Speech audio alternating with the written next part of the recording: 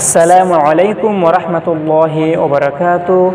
প্রিয় দর্শক মণ্ডলী, আশা করি সবাই আল্লাহর রহমতে ভালো এবং সুস্থ আছেন। প্রিয় দর্শক, সুরাতুল ইখলাসি এই সুরাটা আপনি বানান করে, সহি করে কীভাবে শিখে নেবেন? কারণ সুরাটি খুবই গুরুত্বপূর্ণ।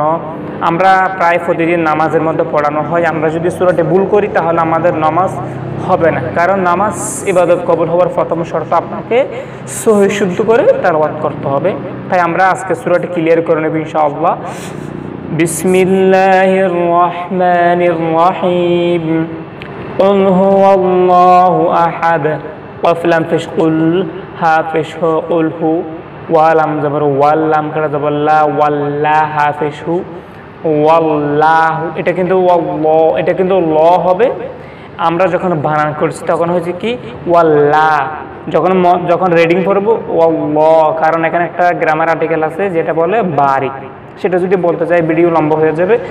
আপনার যদি এই ভিডিওটি যদি বুঝতে কোথাও সমস্যা থাকে, তাহলে আমাদের কিছু ভিডিও দেওয়া আছে গ্রামার আর্টিকেল আপনি কীভাবে আরও সহি শুদ্ধ করে সহজভাবে পড়বেন, তাহলে যদি ভিডিওটা দেখেন কয়েকবার, তাহলে ইনশাআল্লাহ আপনি নিজে নিজেই বানান করে পড়তে পারবেন।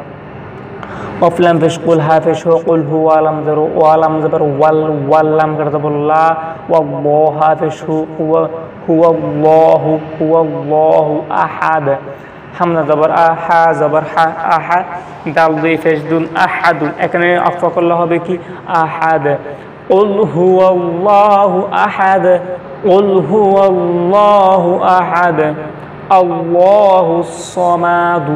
অক্ফা করলে সমাদ। আল্লাহ হামদাল্লাহ জবর আল্লাম কাটা জবল্লা আল্লাহ।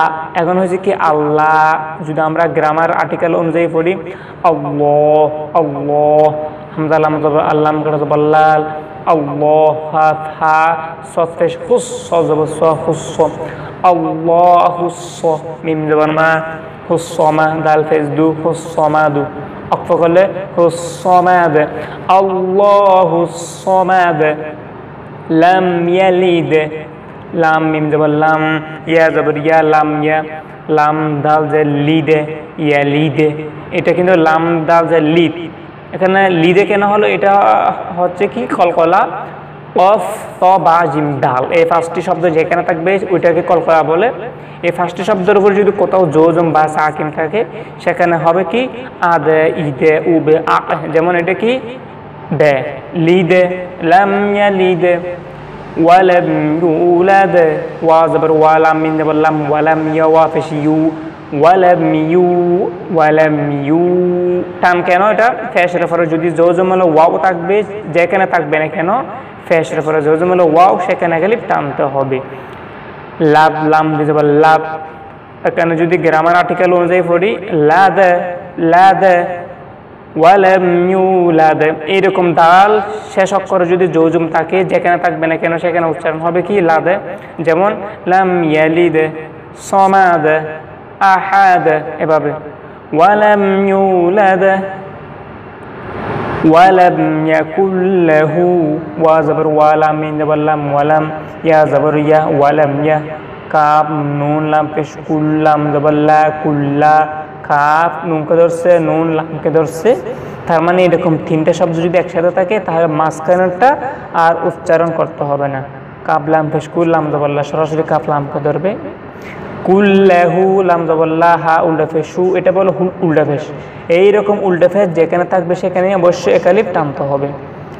ওয়ালাম ইয়াকুল্লাহু ওয়ালাম ইয়াকুল্লাহু কুফুয়ান কাফেশ কুফা ফেশ ফু কুফু ওয়ালিব দিয়ে জবর ওয়ান, কুফুয়ান কুফুয়ান কুফুয়ান, আহাদ, হামজা জবর আ, হা জবর হা, আহা, দাল দিয়ে ফেস দুন, আহাদুন, অকফা করলে আহাদ ولم يكن له كفوا أحد أكبر ريفيو كري قل هو الله أحد الله الصمد لم يلد ولم يولد ولم يكن له كفوا أحد وما توفيقي إلا بالله প্রিয় দর্শক মণ্ডলী আমাদের পরবর্তী নতুন ভিডিওগুলো দেখার জন্য আমাদের চ্যানেলের সাথে থাকুন আসসালামু আলাইকুম ওরহমতুল্লাহি ওবরাকাতুহ